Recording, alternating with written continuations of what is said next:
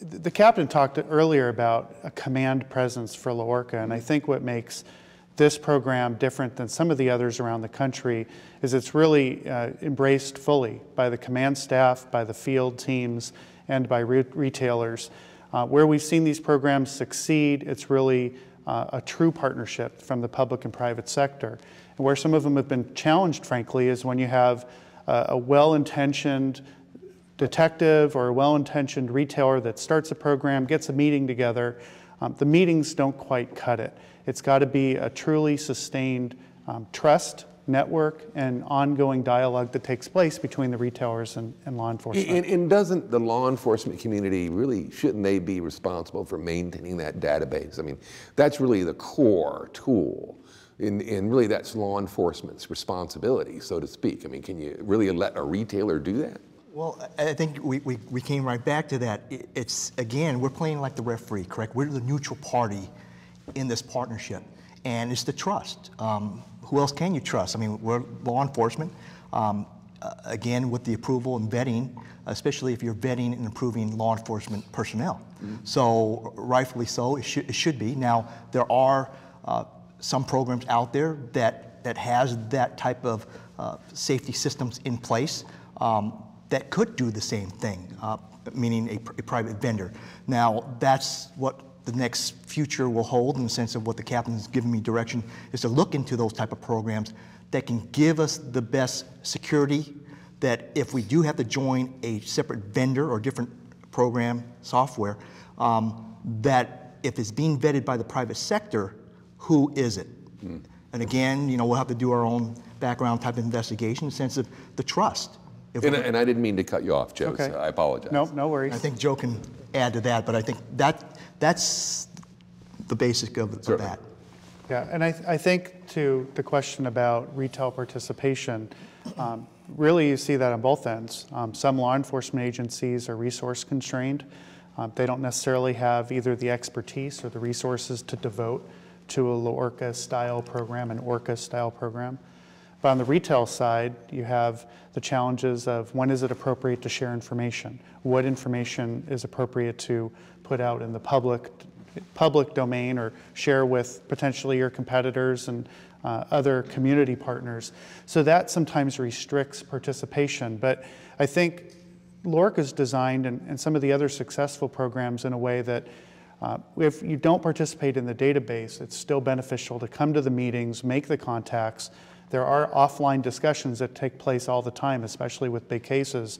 And I think we've all been in the room where somebody brings up an issue that's happening here in the, the, the LA region, and five other retailers jump in, say, I know that person, or I've had that same issue. They all get together after the meeting, and it turns into a successful case. So, does that make the NRF's investigator network meetings around the country kind of the feeder to the ORCA programs around the United States? Well, you know, the network, the investigators network was really set up to get people together with their law enforcement partners. So in some places like Los Angeles, rather than doing a meeting here, which would be duplicative with the LAORCA program, we've pushed out and gone into other markets that don't necessarily have an ORCA style program. Um, the, at the end of the day, I think we're all after the same thing, which is let's prevent losses in the retail community. Let's make sure that the stolen merchandise is sold and people pay taxes, and that fuels the revenues for the cities and local government. Um, a question on another subject. The gateway crime. You hear a lot about it, a lot of people talk about it, and we all kind of understand it. But, but if you look at ORC being a gateway crime, what would you say is the most prevalent gateway crime? What is it? What is the one crime? Is it, is it auto theft? Is it drugs? Is it, you know, what way, and it's a bizarre question, I know it's a big one, but I just kind of wanted to ask. Well, I think in my opinion, I, I think it's drugs. I mean, that's always been a big problem. Um, unfortunately, you know, people do commit thefts to, to support their habits in, mm. in drug use. So absolutely, that, that's again, from my opinion, uh, my boss may have a different opinion, but I think that's, you know, I think that's what, what the big problem is. Last year, LAORCA added the U.S. Secret Service and the financial institutions to the program. Uh, how do you engage the local field office, and how do the local and, and federal agencies interact with LAORCA? Uh, I'll answer the last question first. Yes, Uh, We have a number of uh, federal agencies that are involved uh, with LAORCA, from the FBI, Secret Service, uh, DEA, ATF, and so forth. Um, the uh, ORC uh, financial issues, there, there, there- there's a nexus there because when you talk about skimming, when you talk about uh, forgeries, identity theft, and other issues, losing credit cards, um, it's just a natural nexus. Uh, I met with the uh, uh, then Steve Williams, who was the, the uh, assistant director of the Secret Service here in the Los Angeles area, and ask him if they would really uh, get involved and uh, take a, a, a significant part with uh, the financial side. And he just jumped at the, the chance of that because he saw the benefit of getting the information and working in partnership. The U.S. Secret Service, um, uh, all my career that I'm aware of, really want to work in partnership with local law enforcement.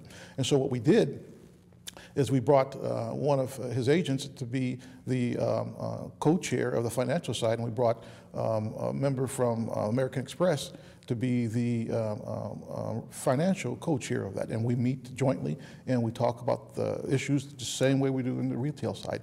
And uh, we've got a ways to go, but I think it, each year we're, we're going to improve and increase the, the membership and, and uh, uh, address those issues as it relates to financial uh, ORC. And in your first year, you had how many members, Kent? Well, in the first year, we probably had upwards of about 500 members in the first year. Okay. And how many attended the conference? The first conference you had? Very first conference we had was 630, approximately 630 people showed up to our first. For the first one? Uh, we had our second annual last year uh, in February. Uh, we had 830 I remember. uh, who showed up uh, last year, and we're anticipating upwards of over a thousand this year. How would you break that up, if, retail versus law enforcement, or, you know, can you? Well, you know, I, uh, if I had to guess, uh, I think it's about a 60-40 split. Uh, you probably have about 40% law enforcement, uh, 60% uh, from the private sector. Great number. Yes, sir. Um, you, you talk about the importance of corporate sponsorships on your website and state that there's a need for far greater resources are needed to address the magnitude of the threats we now face. Uh, can we talk about the magnitude of the threats and, and the resources that you need? I mean, the magnitude of the threats is, is, a, is a pretty bold phrase. Is, is there any way we can define that, talk about that a little bit? I think, Captain, When you, when you look at ORC, the, the, the magnitude of the threat, and Joe has mentioned a little bit, uh, in this age of, of budget constraints and, and so forth, one issue you look at is when sales taxes and so forth are not being paid because people are, are stealing, uh, the government and, and, and resources the government can bring to bear are, are affected. Also, you have the issue of, of, of families having prices uh, um, going up because people have to deal with the, the, the thefts that, the, that they have to anticipate. Uh, also, you have health issues. When you have individuals stealing baby formula and so forth and selling that on the market, you don't know how uh, that's been tainted or how it's been formed, and so you have uh, issues there that you have to deal with. So the magnitude is, is, is, is The magnitude is there. That's where you. Yeah. What about the resources that you need? I mean, how is that defined? Obviously, we know it's money. We, we know it's we know it's people. I mean, I, I know Los Angeles has a designated senior detective working it. Think I mean, Captain would talk are in the ca- does do the other towns or, or orcas have such a resource? And and if not, you know, what's the move there? What's I think the orcas try to do what they can in terms of resources, but I put, I saw the benefit of putting a senior detective uh, in this position. One, Los Angeles is so big. We're 465 square miles. We have 21 police stations, and a number of other specialty uh, divisions within the city, the city of LA. And it's my view that LAORCA or, or Orca should be a facilitator for the retailers because if a retailer has an issue, shouldn't have to go all the way around uh, the 21 stations and say, Can you help me? They come to one person who has the experience, who's been around, and he or she, can, in this case, Kent Oda, can, can get them. If my division and deal with it, then he has my authority to send them to the six sections that work under me to get them to, to, to deal with it. If we don't, if it's not within our, our responsibility, then he can facilitate that getting to uh, one of the 21 stations. And also, I've seen him help people in the western United States in terms of facilitating getting to other police departments. And so people see that they can come to that one focal point, that facilitator, if you will, and then can get that assistance. We also added this uh, uh, last year retail desk in, in uh, uh, Commercial Crimes Division, our division, where the retailers can come in and it's right next to where Kent sits, and they can discuss issues in cases too. So uh, I really think it's very beneficial to have that one person deal with those things and, and, and, and be able to have the, the uh, retailers come and, and feel that someone is going to listen to them. So you've actually established a desk for the retail community to be able to, to focus their efforts and come and share and discuss and, and work together. Yes. And in these economic times, you've been successful in maintaining the budget for the retail world. Very tough, but we're going to, I think, and my chief believes it's important, and we're doing everything we can to ensure that that, that uh, continues. You know, we, we've seen ORCA programs evolving in some other places, obviously, especially over the last three years. I mean, what are the differences addressing retail crime in a large city like Los Angeles versus a small or even medium sized city? I think uh, my, uh, uh, we discussed a little bit in terms of how big, you know, the real estate is here in, in, in LA in terms of the, the 465 square miles, the 21 stations. And um, um, one thing we have here in LA in terms of the way my division is, is um, uh, assembled is a lot of the things that deal with ORC uh, is under our roof in terms of I have forgery investigators, I have an identity theft investigators, I have fraud investigators, I have a commercial auto theft that deals with uh, cargo theft.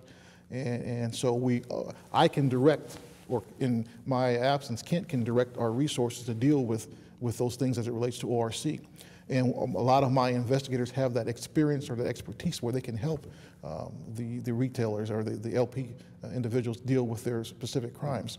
Now, in a smaller agency, I would suggest that in terms of, they may not be, have that ability, but they can work together in terms of uh, working in, in, a, in, a, in a virtual, if you will, task force.